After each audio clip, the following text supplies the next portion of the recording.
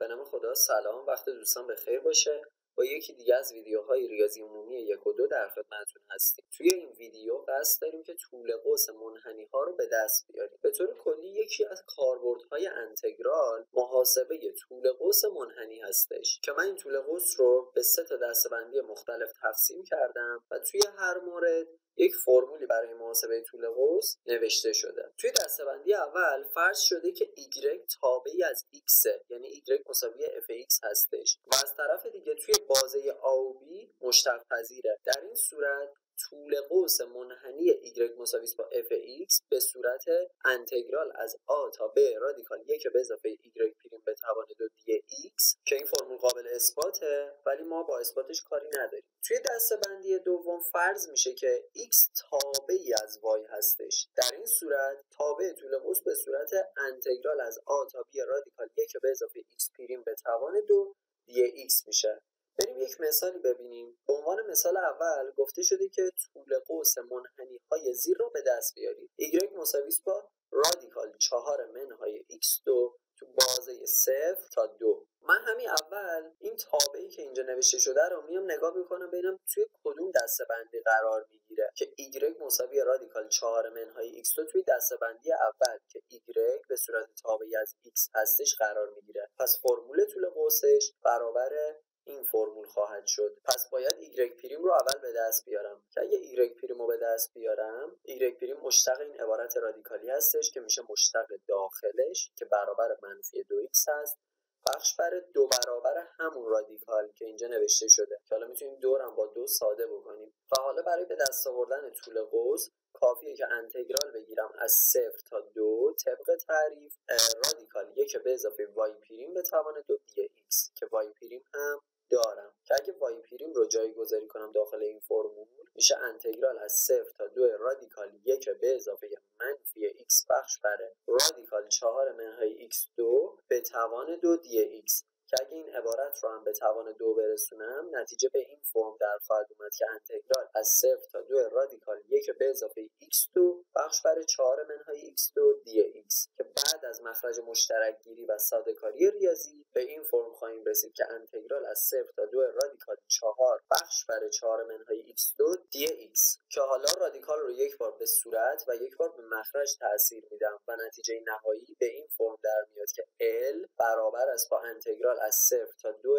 دو بخش بر رادیکال 4 منهای x دو دی x که این انتگرال یک انتگرال معروفیه. برای به دست آوردن جوابش از خودم این سوال رو می‌پرسم که چی مشتقش دو بخش بر رادیکال 4 منهای x دو هستش؟ خب مسلما دو تا سینوس وارون x دوم. و حالا کافیه که یک بار داخلش دو و یک بار داخلش صفر قرار بدم و نتایج رو از هم کم بکنم. که اگه این کار رو انجام بدم نتیجه نهایی به صورت پی در میاد. پس طول قوس منحنی رادیکال 4 منهای x2 برابر شد با پی. اما خب به عنوان یک راه دیگه و برای اینکه با مفهوم طول قوس بهتر آشنا شیم بیایید همین مثال قبل رو که y مساوی رادیکال 4 منهای x2 بود به صورت هندسی و نه به صورت جبری حل کنیم. به چه شکلی؟ خب y مساوی رادیکال 4 منهای x2 رو من رسم می‌کنم و یک همچین شکلی خواهد داشت که یک نیم دایره خواهد شد. خب طول قوس این یک نیم دایره برابر طول این کمان هستش که یک کمان نیم دایره شکله که برابر پی رادیان میشه. و نتیجه؟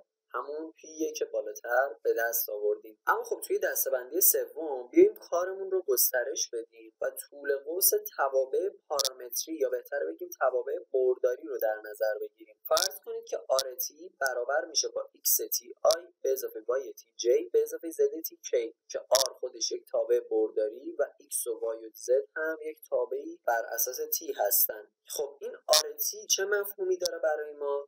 معادله حرکت یک ذره هستش. از طرف دیگه اگه من بخوام طول قوس یا بهتر بگیم طول خم این ذره طول حرکت این ذره رو به دست بیارم کافیه که مشابه روش قبل با اون دوتا فرمول قبلی بیام انتگرال بگیرم توی بازه تعریف. از رادیکال مشتقات x پریم و y پریم و z پریم به توان دو به صورت مجموع. و خب این مجموع و این پرانتزی که اینجا نوشته شده چه مفهومی خواهد داشت. رادیکال x پریم تی به توان دو به اضافه y پریم تی به توان دو به اضافه z پریم تی به توان دو. در واقع این پرانتز معرف اندازه بردار سرعت هستش. پس من مفهوم طول قوس رو از یک دیدگاه دیگه هم بررسی کردم.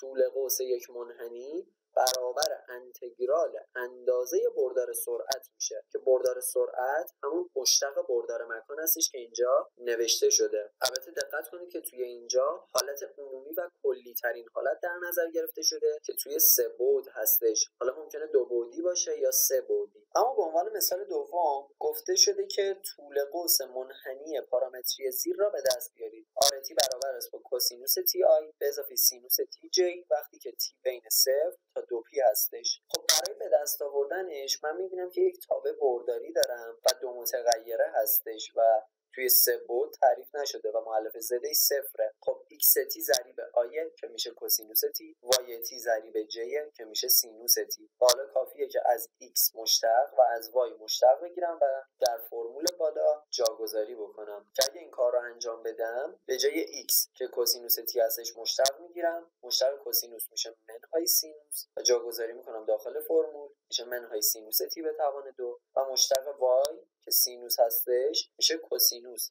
و به توان دو میرسونمش و زیر رادیکال قرار میدم. از طرف دیگه سینوس دو هر چیزی با کوسینوس دو اون چیز برابر میشه با یک. و انتگرال و رادیکال یک هم و رادیکال یک هم برابر یکه.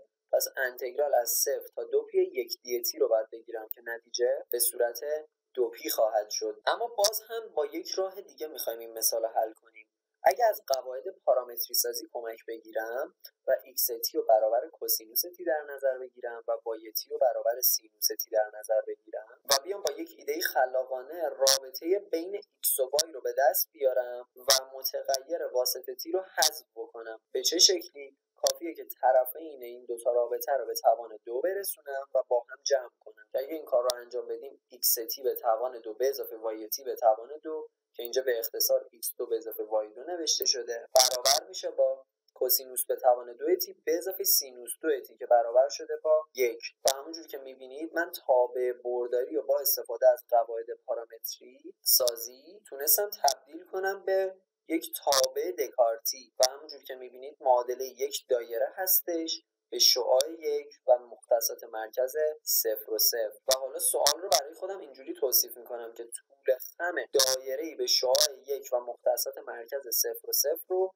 به دست بیارید. و البته که تی هم بین صفر و دو پی بود دیگه. پس یک دایره کامله. و طول خم یک دایره کامل برابر میشه با دو پی رادیان. و همینجور که می‌بینید با این روش هم می‌تونم طول خم رو محاسبه کنم. امیدوارم که این ویدیو مفید بوده باشه و لذت برده باشید. خدا نگهدار.